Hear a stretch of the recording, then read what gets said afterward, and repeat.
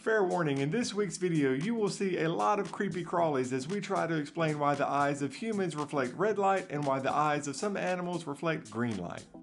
We are here in the middle of the woods. In our backyard. And it's in the middle of the night. It's actually 10 o'clock. And we are surrounded by spiders. Now that part's true. And because of a trick in biology, in this video, we're going to show you how we know exactly which spiders are looking directly at us. So to be able to explain that and how we ended up in the middle of the woods, we need to rewind it a little bit.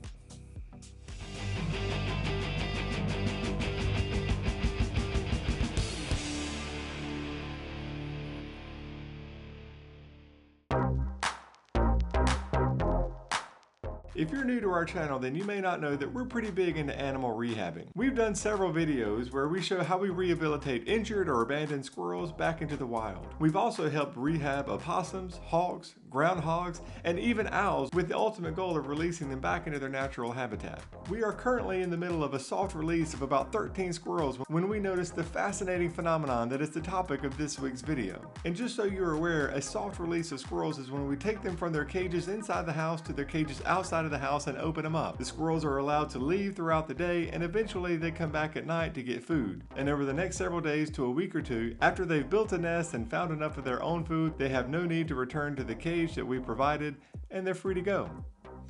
And it's during this time during the soft release where we were walking out at night to feed them when we noticed this interesting phenomenon. You see, when we feed the squirrels at night, we wear headlamps on our heads. The headlamps make it easier to see, obviously, where we're going, but also we have our hands free so we can feed the squirrels easier. And we noticed that when we're wearing the headlamps at night, we would see countless tiny green shimmers on the ground. See those sparklies in the Do you see them? Those sparkly things? And we didn't think too much about it until one day we decided to dig a little deeper and find out what exactly is causing this. To make a science lesson out of this, I took my kids out at night with headlamps on our heads and we went exploring. And by the way, is this not the true definition of homeschool, having science class at 10.30 at night? We strapped 400 lumen LED lights to our foreheads and we went exploring. So one evening we followed the green light and this is what we found. Spiders!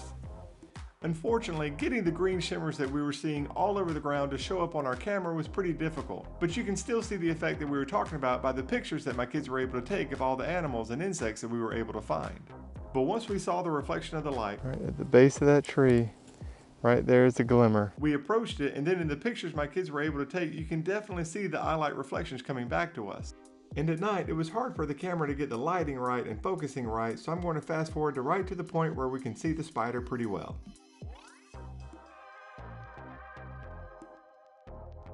And there we have it, a tiny half inch to one inch spider that we were able to locate 20 feet away in the middle of the night because of the reflection of his eyes.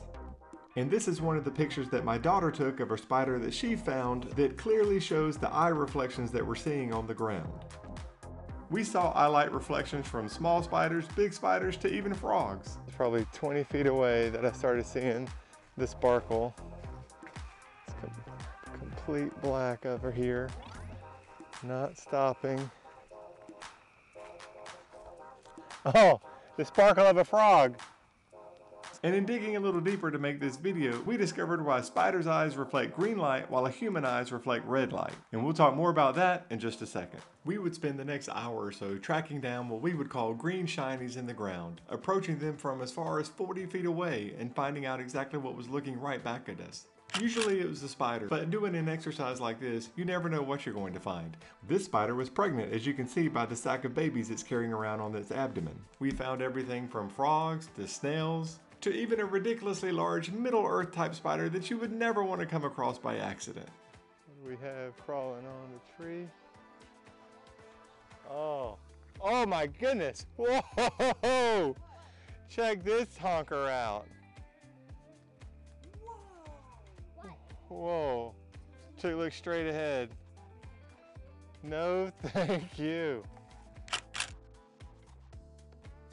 We saw this spider and lost our minds. It was huge, and here you can see my wife putting her cell phone right next to it for a reference size. Now I know there are bigger spiders out there and certainly more dangerous and scary ones, but when you're expecting to approach something that's about an inch small and see this monstrosity, it was pretty crazy.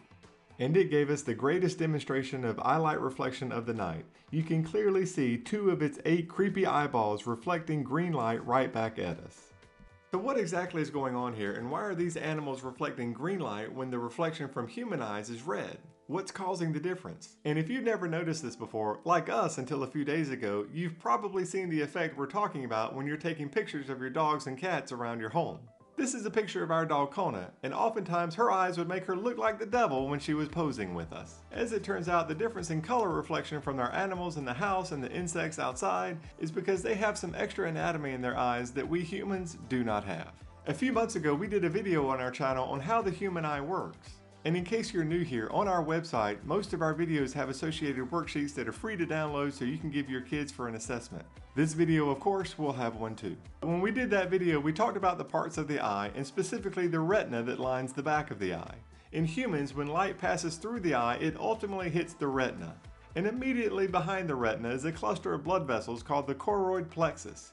And because those vessels are red, that's why we often see red light reflected back to us when we're taking pictures. Now in the case of animals that are specifically designed to hunt at night, most of them have developed an additional structure in their eye called the tapetum lucidum.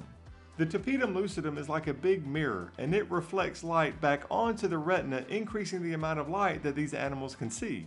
And that ultimately gives them night vision, or at least superior vision at night so they can hunt effectively. And because that light is reflected by the tapetum lucidum before it hits the choroid plexus, that is why the light reflected by these animals' eyes is green and not red. And while it would be cool for us humans to have a tapetum lucidum so we could also see at night, oftentimes these animals that have a tapetum lucidum don't have an abundance of cone cells allowing them to see color, so they ultimately are colorblind. Mother Nature is a cruel mistress, she giveth and she taketh away. So that's it for this week's video. It's a little late because it's summertime and we aren't schooling as much. Nevertheless, we hope you enjoyed it. Subscribe to our channel if you haven't already. Check out our website for free worksheets, free x-rays, and other stuff for your homeschooling efforts. The free worksheet for this video will be posted soon. Have a great day, everybody, and we'll see you next week. What's a ghost's favorite food? What? Bologna sandwiches. Get bologna. Oh, oh, okay, you got it. Oh gosh, grab the camera. Just grab, you we're okay. Grab the camera. And then, um, Oh, wow. okay, this was not expected. So my family was super curious to know if I was just playing scared for the camera or if I was legitimately scared. And I can tell you for 100% I was